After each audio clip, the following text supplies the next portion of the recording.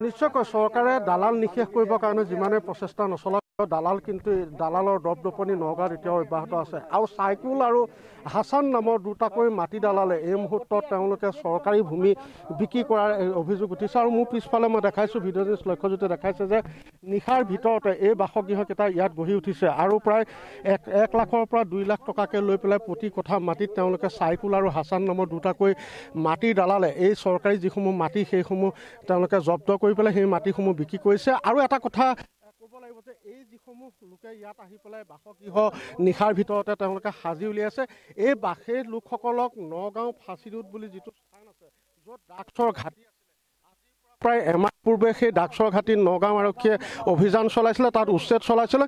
তাৰপিছতে সেই লোকসকলে আহি পেলাই পুনৰ এই- এই স্থানত তেনে চাইকুল আৰু হাছেন নামৰ যি দুগৰাকীকৈ লোক সেই লোক দুজনৰ পৰা ইয়াত মাটি ক্ৰয় কৰি পেলাই ইয়াত তেওঁলোকে ঘৰ সাজিছে। আৰু নগাঁও আৰক্ষীৰ ওচৰত ইতিমধ্যে নগাঁও জিলা উপায়ুক্ত আৰু আৰক্ষীৰ ওচৰত এই সন্দৰ্ভত অভিযোগ দাখিল কৰা হৈছে কিন্তু কোনো ধৰণৰ ব্যৱস্থা গ্ৰহণ কৰা নাই। মই আপোনাৰ ওচৰতে আহিছোঁ। এই মাটিখিনি আচলতে কাৰ? এই মাটিখিনি এইটো যিটো মাটি আছে এইখিনিত এই এই ডাঙৰ ঘৰটো যিটো এইটো হ'ল পট্টা মাটি। আৰু তাৰফালে সেই পাছফালে যিটো তিনিটা ঘৰ আছে তিনিটা ঘৰ আপোনাৰ একচনা পট্টা মাটি। চাইকুল আৰু হাছানে বিক্ৰী কৰিছে? ইয়াৰে মানুহ। দখল কৰি ৰাখিছে? দখল কৰি ৰাখিছে। এইটো মাটিৰ এইটো মাটিৰ দাদুলৰ লগত কেচকাল হৈ আছে। দাদুলে খেতি নকৰে সিও নকৰে। কিন্তু সি চুৰ কৰি দাদু এই হাচিম আৰু চাইকেলে মাটিখিনি বেছি দিলে। বেছি সত্য। অঁ সত্য। বিক্ৰী কৰাটো ইতিমধ্যে সত্য এজন লোকে কৈছে আৰু ইয়াতে লোক আছে মই তেওঁলোকৰ লগতো কথা পাতিব বিচাৰিম।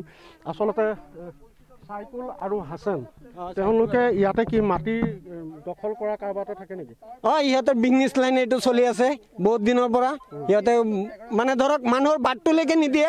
এইবিলাক পথাৰৰ মাটি আছিলে মানুহৰ আলি দি যাবলৈ কাৰণে আলিটোলৈকে নিদিয়ে সিহঁতে। আৰু ভাবুকি দিছে যদি আমাৰ মাটি দি তহঁতক যাবলৈ নিদিওঁ যদি যাওঁ তেতিয়াহ'লে পানে হত্যা কৰি দিম তহঁতক। সেই দালালকেইটাৰ বিৰুদ্ধে আপোনালোকে আৰক্ষীক অভিযোগ দিছে নেকি? অ' অভিযোগ দিলে কি হ'ব এই অভিযোগ দিলে থানাত গ'লে সিহঁতে পইচা আছে পইচাত কাৰোবাৰ শেষ কৰি দিয়ে। এনেকুৱা কৰি আছে।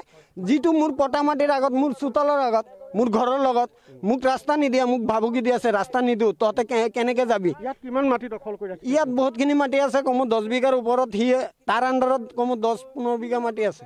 দখল কৰি দখল কৰি ৰাখিছে এইটো নিদিয়ে মানুহখিনি ইয়াত একমাহ হৈছে। একমাহ মান হৈছে আৰু ধৰক দুমাহ একমাহ এনেকুৱাও হৈ যায় সিহঁতে বেছি আছে মানে অলপ অলপ কৰি বেছি বেছি এক লাখ টকাৰ কথা। এক লাখ টকাকৈ কথা এক লাখ কিমানকে বেচিছে? এক লাখো বেচিছে? দুই লাখো বেচিছে কথা। অঁ যাৰ পৰা যিমান পাইছে ইমানে লৈছে। হয় চৰকাৰী মাটি সিহঁতে মানে দখল কৰি জোৰ জবস্ত মানে মানে লৈ বেছি আছে। কিমান কিমান মাটি দখল কৰিছে মাটি প্ৰায় ইয়াতে আপোনাৰ পাঁচ পাঁচ ছয় বিঘামান হ'ব সেইখিনি মাটি দখল কৰিছে হয় ছয় বিঘামান মাটি দখল কৰিছে। এয়া আছিলে স্থানীয় লোকৰ ভাষ্য। মই পুনৰ দৃশ্য দেখাবৰ কাৰণে লক্ষ্যজ্যোতিক অনুৰোধ জনাম যে যিটো সময়ত বাইছটাকৈ মাটি দালালক নগাঁও আৰক্ষীয়ে গ্ৰেপ্তাৰ কৰি জেললৈ প্ৰেৰণ কৰিছে আৰু যিসমূহ ৰাজহ চক্ৰৰ বিষয়া আছে ৰাজহ চক্ৰৰ বিষয়াত কাৰ্যালয়সমূহত দালাল নিষেধ কৰিবৰ কাৰণে প্ৰয়াস কৰা দেখা পোৱা গৈছে। সেই সময়তে কিন্তু মুকলিকৈ নগাঁৱত মাটিৰ যি দালাল ৰাজ সেই দালাল ৰাজ বৰ্তমানো চলি আছে আৰু সেই পৰিৱেশটো আমি দেখাইছোঁ। স্থানীয় লোকৰ ভাষ্য আমি ইতিমধ্যে শুনালোঁ। এতিয়া হৈছে নগাঁও জিলা প্ৰশাসন আৰু আৰক্ষী প্ৰশাসনে কি ব্যৱস্থা গ্ৰহণ কৰে সেয়া হ'ব কিন্তু অতিকৈ লক্ষণীয়।